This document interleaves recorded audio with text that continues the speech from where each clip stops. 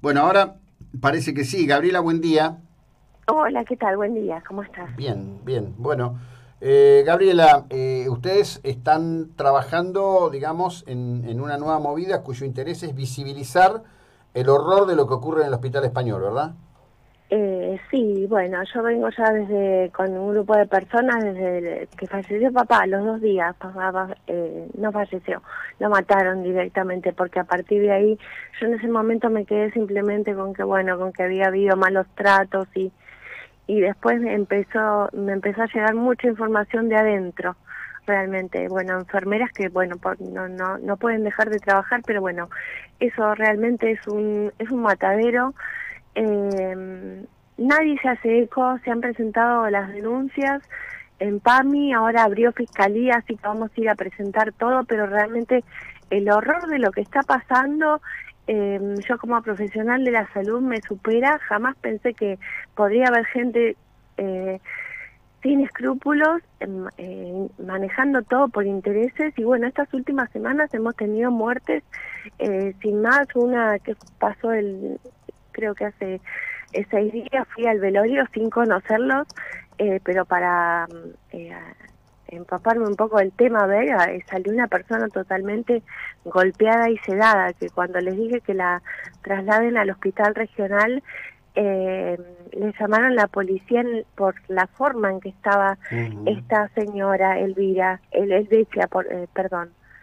Eh, en enterarme de cosas ya como como que a papá me lo inyectaron, como que a los pacientes cuando entran en terapia ahí no hay forma de ya no hay forma de vigilarlos porque te sacan a cada rato cuando estás en una habitación y más ahora con el covid eh, y cuando entras a terapia directamente eso es una masacre. Nos lo cuentan eh, enfermeras ya te digo mucama eh, a papá me lo inyectaron, me lo inyectaron con cloruro de potasio, eh, que es algo que provoca un paro cardiorrespiratorio, no sale en autopsia. Eh, perdón, ¿y cuál, cuál es el objeto de, de, hacer eso? Porque se supone que son profesionales médicos, eh, se supone que son profesionales médicos, pero acá lamentablemente tenemos un, un director que tiene varias causas, tenemos una jefa de enfermeras que está jubilada y es auxiliar de enfermería, que una, una persona para ser eh, jefa de enfermeras no puede ser jubilada, segundo, no, primeramente no puede ser auxiliar de enfermería, tiene que ser una licenciada. Y la señora Ana Bermejo sigue ejerciendo ahí. Es decir...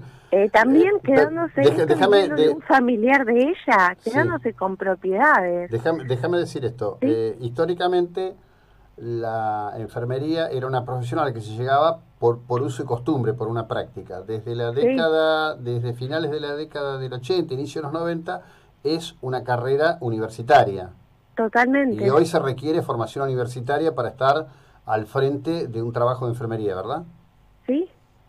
Claro. Sí, sí, sí, tal cual, sí, sí, yo soy enfermera, soy enfermera domiciliaria. Y sí, tengo, tengo mi título, cuido paciente con cáncer. Pero, pero, pero más, más, más allá de, no más allá, acá dentro de este escenario, de esto que a vos te lleva porque es una situación propia donde se fue la vida de tu papá. ¿Hay otros casos? eh, hay muchísimos casos, tengo una carpeta con más de 200 casos y son todos los días de, de llegarme denuncias a la página, de decir, pasa que se manejan con personas que eh, eh, con, muchos abuelos que no tienen familia o con familiares muy grandes que no saben qué hacer, por ahí no se dan cuenta. Entonces uno trata de guiarlos como me pasó con esta familia eh, con Eduardo, que bueno, no fue no no no es grande, pero no no sabía, uno por ahí en el en, ese trajín y en esa locura que te tienen de acá para allá, que por ahí lo tenés internado mal y te te, te, te dan una eh, un papel en, la entrada con las con las cocherías, con las que están, eh, perdón la palabra, pero no encuentro otra, entongadas, porque por cada muerto se llevan los enfermeros cuatro mil pesos por cada muerto que llevan a esas cocherías. Eh, te digo, tenemos una información terrible, nos comunicamos con el intendente, la respuesta de él eh, fue, yo no tengo injerencia. Le digo, pero ¿a dónde pues nos podemos dirigir? Porque acá están matando gente.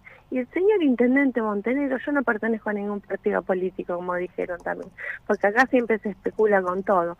Tampoco quiero plata, porque también me lo ofrecieron. Mm. ¿Quién te ofreció plata? El señor Intendente me dijo, eh, el Hospital Español para callarme, porque cada marcha a ellos les cuesta, les cuesta una sanción. Pero a nosotros no nos calla más, pues yo me podría haber quitado, me podría haber quedado haciendo mi duelo, que hace siete meses que estoy eh, eh, bajo tratamiento te, te, te, pregunto, Gabriela, eh, ayúdame con esto, porque todo lo que estamos diciendo es muy fuerte, es muy delicado, y por supuesto a mí no me pesa en nada decirlo acá, en que se diga acá en la 99.9. Eh, teóricamente, teóricamente, este, eh, todo esto tiene que estar controlado y auditado por PAMI. ¿Qué pasa con PAMI? En PAMI presenté la denuncia, ahora no, me, no recuerdo el nombre del director, que bueno, primero le hicimos una protesta, el día de la protesta no me llamaron arriba, estuve hablando con él con dos personas más que no, no, no sé los nombres, después me recibió otra vez, tengo la denuncia hecha, pero bueno, digamos, está todo, está todo el mundo arreglado, acá se mueve mucha plata, obviamente que se mueve mucha plata, si no ya estaría cerrado, con, con tantas denuncias que tenemos, yo te muestro las fotos y, y no lo podés creer, esto es, nos están matando nuestros abuelos, ¿qué hacemos? ¿A quién recurrimos? Cada persona a la que vamos, nosotros ya pusimos tres, tres abogados, que obviamente nosotros somos personas trabajadoras, y obviamente ellos las, las, compran, es así, nos pasó con tres abogados y recomendados. La, la historia de mi papá, agarré desapareció del hospital, la tuve que ir a buscar un estudio de abogados y cuando la fui a buscar al estudio de abogados tampoco me atendió la señora abogada. La tuve que volver a, a buscar al hospital con mi mamá de 85 años, a los tres días de haber fallecido mi papá, que te la tienen que dar en el momento, legalmente. Y ese día me mandaron ocho oficiales de policía por ir a buscar una historia clínica. Cinco, eh, cinco, tengo fotos de todo igualmente. Cinco rodeando a mi mamá, por ir a pedir una historia clínica que hoy la tengo, son siete hojas que yo como enfermera sé que ahí está todo dibujado horror, ¿eh? Bueno, ustedes van a, mm, eh, van a hacer una movida específica, ¿verdad? Sí, sí, sí, sí, sí. Bueno. Sí, sí, a partir de ahora ya que está un poco más liberado y siempre tomando eh, eh todo el protocolo, por supuesto, eh, eh, hoy Mar del Plata, así nomás, todos los familiares decimos basta, basta, vamos a estar ahí, vamos a estar, vamos a marchar los días que sea. Eso tiene que pasar algo, alguien se tiene que hacer eco de, la problemática del hospital. Yo me podría quedar acá durmiendo, ¿eh? no necesito ir y escarbar, porque es escarbar sobre la, la muerte de, perdón, de, de mi papá pero no, sí, tenemos que seguir porque ahí hay muchos abuelos que se atienden y muchos abuelos que están solos y no tienen nadie que, que proteja los derechos y la vida misma, porque entrar ahí, como se dice, es peor el remedio que la enfermedad. Entras ahí y salís muerto. Qué horror. Gabriela, eh, bueno, estaremos en contacto y en la actitud y la disposición que por lo menos en este lugar del dial y en el impacto que esto provoca en un sector de la comunidad de Mar del Plata se escuche y se conozca. Gracias. Eh. Muchísimas gracias. Eh. Hasta luego. Buen día. Buen día. Quien escucharon es a Gabriela Muñiz. Llevó a su papá en una situación menor. Está avanzando en algo que es realmente que tiene capítulos a mi criterio literalmente aterradores y que no, te, no terminaré nunca de entender porque estas historias se vienen escuchando hace mucho tiempo y ahora, bueno, ahora están en alguien que no solo quiere promover, sino que quiere que haya una acción de carácter determinado para enfrentar y solucionar todo esto.